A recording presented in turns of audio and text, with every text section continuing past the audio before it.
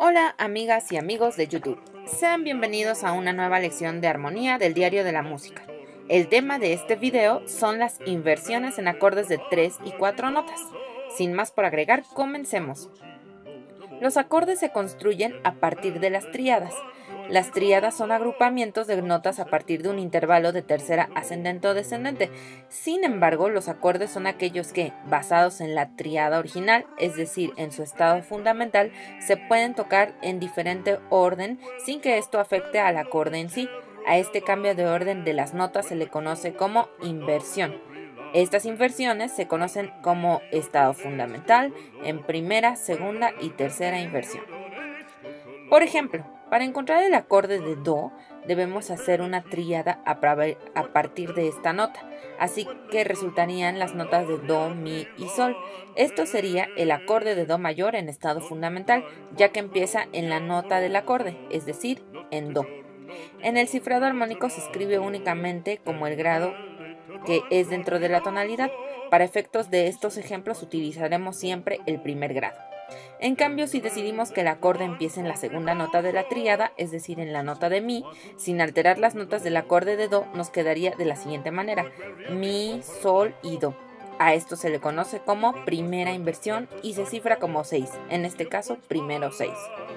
De igual manera, podemos decidir que la nota más grave del acorde, es decir, en la que empezará el acorde ahora será en la tercera nota de la tríada, en este caso la nota de Sol, es así que el acorde se escribiría como Sol, Do y Mi.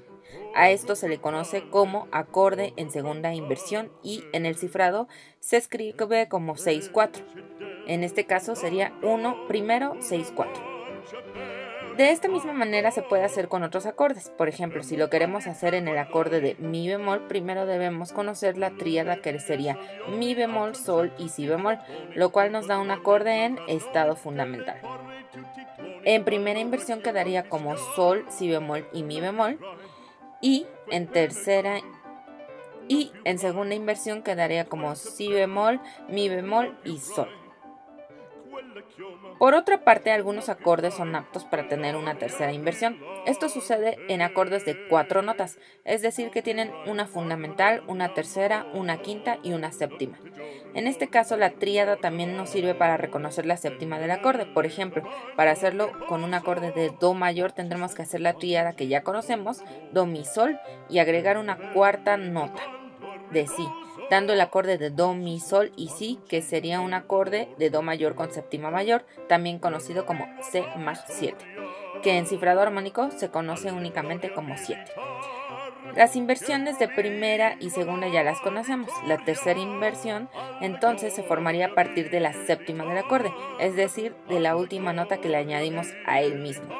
En este caso quedaría un acorde de Do más 7 en tercera inversión como Si, Do, Mi, Sol y su cifrado armónico es 2. En este ejemplo es primero 2. Las inversiones son importantes para la resolución tradicional de los acordes, además de que le dan variedad al discurso armónico de las obras musicales, añadiendo diferentes tintes y colores a la música. Y listo, eso ha sido todo por la lección de hoy. ¿Conocías ya las inversiones de los acordes? Déjame tu comentario o pregunta allá abajo en la caja de comentarios. Si te gustó el video, dale like y suscríbete para seguir aprendiendo armonía con el diario de la música. También sigue mi página en Facebook, te dejo más información en la descripción.